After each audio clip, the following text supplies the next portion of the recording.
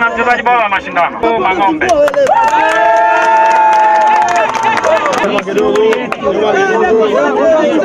ilikuwa iwe au zawadi zake zikabidhiwe na mgeni rasmi ambaye ni Mheshimiwa DC Mheshimiwa Shaibu Ndemanga, lakini kutokana na majukumu yake amebanwa, ameshindwa kuja ku- kuhudhuria nasi, lakini ameniagiza niseme yafuatayo.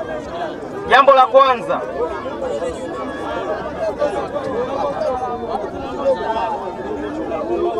tuko katika siku za siku kumi na sita za kupinga ukatili wa kijinsia.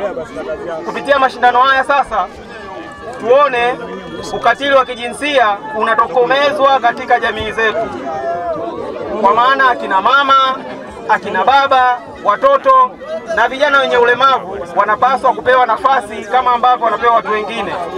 Lakini pia tuko kwenye kuadhimisha miaka sitini na mbili ya uhuru.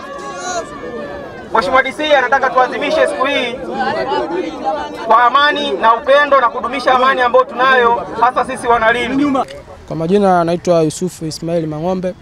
Kwanza kabisa nimshukuru Mwenyezi Mungu mpaka kufikia siku ya leo, mpaka naweza kuchukua huu ubingwa wa beach soka hivyo. Sawa, umechaguliwa kuwa mchezaji bora wa mashindano. Kwa nini unajisikia? Ah, kwa kweli lazima nijisikie vizuri kwa sababu ni kila ndoto ya mchezaji katika kila mashindano aweze kufanya vizuri kwa mechi ya kwanza mpaka ya mwisho, pia aweze kufanya hii kama nilichokifanya mimi, kuwa mchezaji bora wa mashindano. Kuna ugumu gani ume- umeuona katika mashindano mpaka leo? Eh.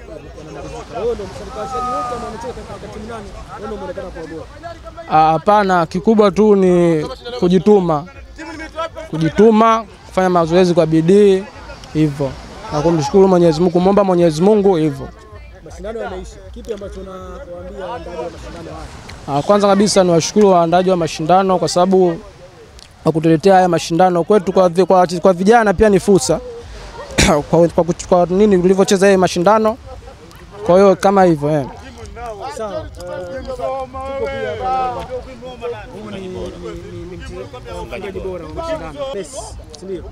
Kwa- majina anaitwa Jamali Ali, mchezaji wa beach soka wa beach boy. Kwa kweli najisikia vizuri kwa kuonekana mimi ni mfungaji bora katika timu yangu, pia katika ligi mzima ya beach soka.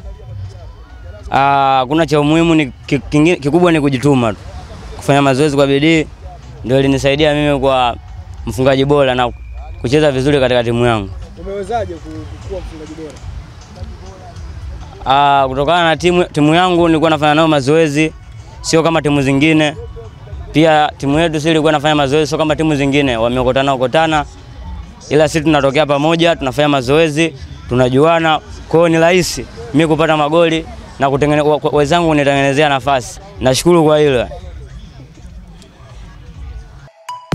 Subscribe kwa kubonyeza kitufe chekundu chini ya video hii na kisha bonyeza alama ya kengele ili uwe wa kwanza kupata kila kinachotokea muda wowote hapa hapa Mashujaa TV.